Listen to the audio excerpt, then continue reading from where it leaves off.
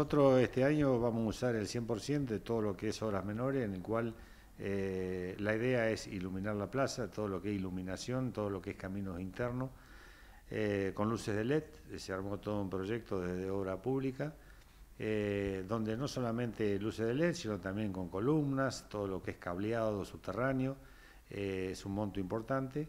Y por otro lado, la falta que ya vienen reclamando los vecinos, los contenedores. Nosotros tenemos importante cantidad de contenedores, pero siempre es poco.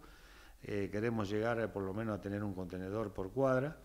Eh, y en esta oportunidad, en base al margen que queda, estamos pensando de que bueno, vamos a adquirir bastante cantidad en relación al, costo que tiene cada uno de esos contenedores. Y por otro lado, todo lo que es los nomencladores, es importante llegar a, todas las, cuadras. Nosotros tenemos las cuadras no por próceres, sino lo tenemos a través de números.